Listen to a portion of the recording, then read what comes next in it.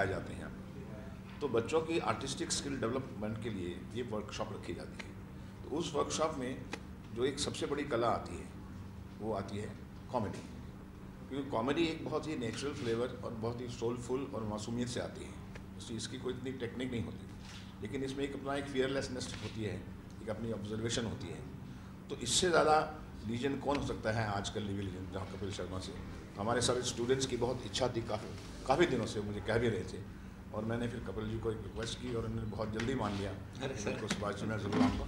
किसी और स्टूडेंट से मुखातिब करूँगा मैं। ओके कपिल मैं सुभाष जी का भी कोई सी के मोहताज नहीं सुभाष जी और एक दौर आपने संघर्ष का भी देखा होगा और आप यहाँ स्टूडेंट्स के बीच में आके उन्हें सलाह देना मशवरा देना कि आप ऐसा करें या आप ऐसा करें आप नेचुरल रहें। ये कैसा एक्सपीरियंस रहा? Do got emotional somewhere down the line sir, मुझे- होगी आपकी?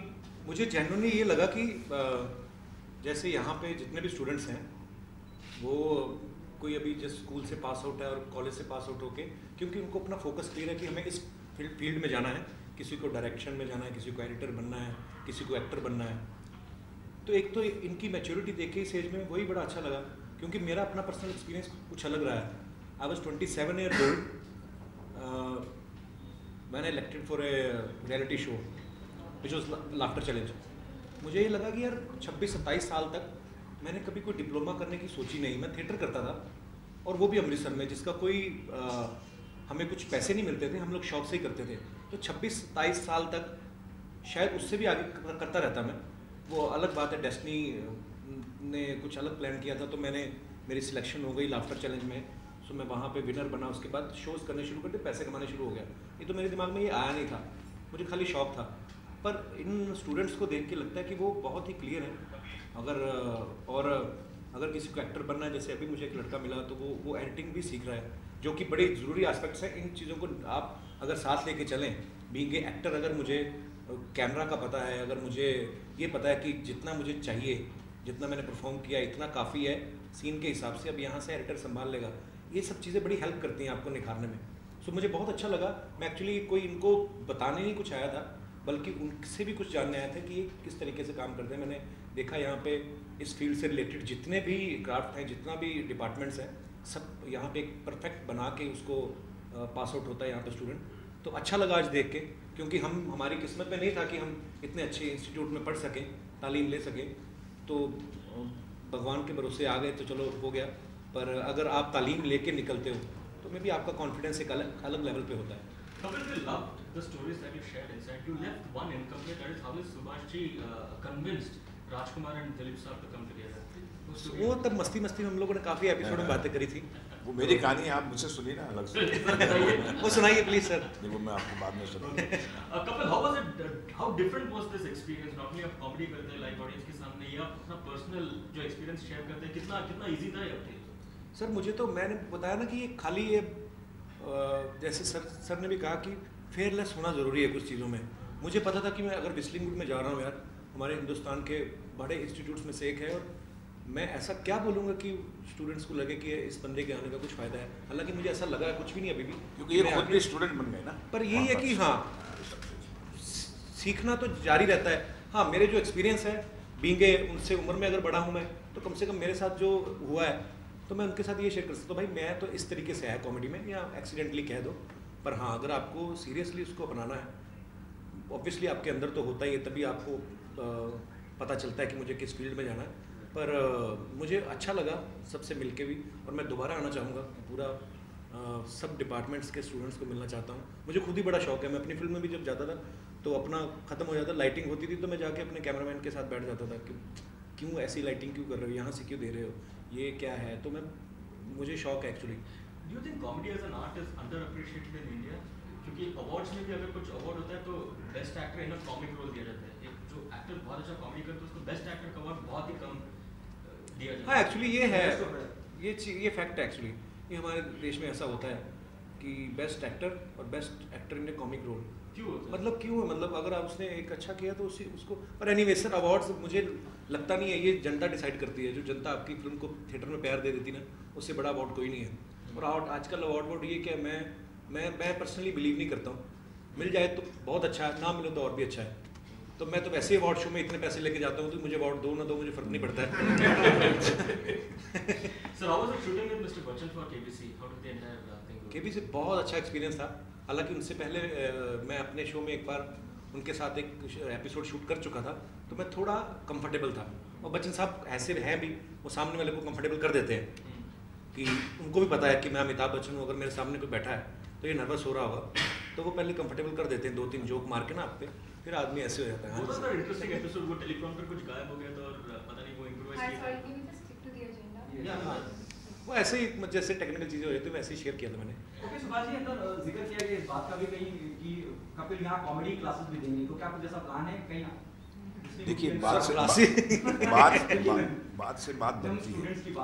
बात से बात बनती है इसी तरह से आस्ता आस्ता हम शेयर करते हैं एक दूसरे में कि कभी चाहे पोइट्री की क्लास हो या एक्टिंग की क्लास हो या ड्रामेटिक की क्लास हो या कॉमेडी की क्लास हो क्योंकि जब आप स्पेशलाइजेशन पे शुरू हो जाते हैं जैसे आपने कहा ना कि एक्टिंग यानी comic role actor is a versatile person जो कि सब रोल कर सकते हैं। लेकिन उसमें कुछ स्पेशलाइजेशन जो है ड्रामेटिक्स में होते हैं कुछ कॉमेडी में होते हैं कुछ विलनिस में होते हैं। जैसे हमारे नाट्यशास्त्र में भी कहा जाता है नायक खलनायक चिदूषक सब होते हैं। तो इस तरह की क्वालिटी जो जो बच्चा डेवलप करना चाहता है उसके लिए भी अगर हमारे पास कोर्सेज हों या क्लासेस हों और कपिल जी जैसे आए हैं वहाँ पर तो बच्चों के लिए बहुत ही बड़ा एक योगदान होगा इनके लिए। Uh, पहले महमूद जी आए उन्होंने अपने हिसाब से कॉमेडी की फिर जॉनी लीवर जी मिमिक्री करते थे। लेकिन आपने कॉमेडी के मायने बदल दिए मतलब जब आप कॉमेडी करते हो तो मालूम पड़ता है किसी की बेइज्जती होने वाली है। नहीं सर ऐसा नहीं है। मुझे कोई भी कभी एक लाइन ऐसा बता आज तक मुझे बताइए कि एक बार भी मुझे बताइए कि जब कपिल जी ने किसी के बारे में ऑफेंसिव कोई भी शो बोला देखिए कोई भी हाँ वही मैं आपको बोल रहा हूँ। कोई भी एपिसोड निकालिए अब मेरे को निकाल के बताइए कि आपने यहाँ पे किसी की बेइज्जती की है। सर बहुत सारे जैसे कोई कंटेस्टेंट खड़ा हो गया अरे अमरीश पुरी जी आ गए। क्या आ गए? Funny like that, किसी को भी हमने कुछ भी पंच कर दिया कोई फनी नेम दे दिया।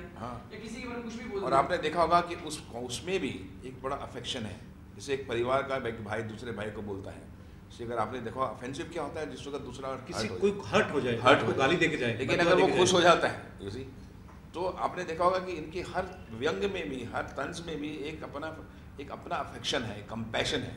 That is the beauty that is why his shows are the most popular in India for so many और आप बिलीव नहीं करेंगे जब हम कॉम्बिनेट्स भी करते थे तो दो दो हज़ार की वेटिंग रहती थी कि हम आपके शो में आना चाहते हैं। तो ये वही लोग हैं जिनकी आप बात कर रहे हैं। तो अगर ऐसा होता जब मैं किसी को बोल रहा तो हूँ वो किसी ने जेब में हाथ डाला तो वो बात कर रहा है सर तो मैंने कहा जेब में क्या कर रहे हो तो ये कोई बेइज्जती नहीं है तो मैं अगर किसी को बोलता हूँ कि अच्छा तेरा पेट पड़ा हुआ है तो तेरी नाभि दिख रही है मुझे दोनों बटन में से तो वो थोड़ा अंदर खींच लेता है तो वो वो क्या नहीं होता है सर वो मज़ेदार चीज़ होती है कुछ ऐसे इंसिडेंट्स हुए जब लोगों ने आपको तंज मारे मारे हो या फिर आपको कमेंट किया हो वो चीज़ आपको आप क्यों ऐसा नहीं कभी ऐसा हुआ नहीं जी हुआ अच्छा हुआ बहुत की कपिल ने अ, अब्बास पठान साहब के साथ किस किस को प्यार बहुत कामयाबी हुई गिवन अ चॉइस अगर मौका दिया जाए क्या आप कपिल को लेकर कोई फ़िल्म बनाना बिल्कुल बिल्कुल इस जैसा आर्टिस्ट अगर किसी भी डायरेक्टर को मिलेगा तो वो फ़िल्म जो है अपने में कितनी एक हवा एक कितनी एक ब्रीज लेकर आएगी आप इमेजिन कर सकते हैं तो I, speak. we must have a good script. That is very important for both of us. And that's how we can think about it. क्योंकि सब चीज़ अल्टीमेटली स्क्रिप्ट की होती है आपका शो द न्यू शो वो भी बहुत चर्चा में है और काफ़ी कामयाब भी रहा है, लेकिन फिर भी कहीं ना कहीं I hope you take it on positive note TRP जितनी उम्मीद करी गई थी, उतनी नहीं है। टीआरपी आई कहाँ अभी? टीआरपी आई नहीं अभी? रिपोर्ट रिपोर्ट्स कौन सी सर रिपोर्ट्स को मानता नहीं। Been big. सर ये चीज़ देखिए आप। भी कहीं जब भी कभी बदलाव होता है किसी भी चाहे वो राजनीति में हो सोशल में हो ड्रामा में हो स्टेज में हो सिनेमा में हो जब भी कोई चीज़ बदलाव होता है उसको पहले से नकारते हैं। फिर दो तीन एपिसोड के बाद आप देखेंगे ये उससे भी ज़्यादा बड़ा पॉपुलर होगा मैं आपको आज बता सकता हूँ। जी sir uh, the reviews have been mixed on social media. Yes. People have loved it, people have not. loved Twitter India की जो हेड है कौन सा ऐसा आज. टॉपिक है जिसमें मिक्स ओपिनियन नहीं है No, the, the mixed reviews, the ones that have not liked it, have said that yeah, the pattern is repeated. They are very few people मैंने कल ट्विटर इंडिया की जो हेड है जिंदल उन्होंने उनकी इंटरव्यू पढ़ा उन्होंने कहा कि मतलब जब आईपीएल शुरू हुआ तब भी इतने ट्वीट्स नहीं आए जितने लाखों ट्वीट्स इस शो के पहले दिन ओपनिंग में आए उनकी इंटरव्यू मैंने तो नहीं दी नहीं नाम उनको जानता हूँ सो मिक्स रिपोर्ट्स जो आप कहते हैं कोई ना कोई कुछ ना कुछ तो बोल ही देता है। कोई पेपर में कहते हैं कि जिस दिन हमारा शो है उस दिन बोलते हैं अरे T R P was not like that is previous show तो भाई भाई मैं उनकी नॉलेज के लिए बताता हूँ इतने बड़े बड़े पेपर चलाते हो टी आर पी अगले हफ़्ते आती है। सेम डे आती भी नहीं है जो कपिल कपिल किसी भी शो में Thank कपिल शूट है। अभी ज़िम्मेदारी बढ़ रही है आपकी रिस्पांसिबिलिटी उम्मीद बहुत ज़्यादा है आपसे। है ज़िम्मेदारी पर एंजॉय करता हूँ। अंदर गया एंजॉय करो खाओ 何だろうね。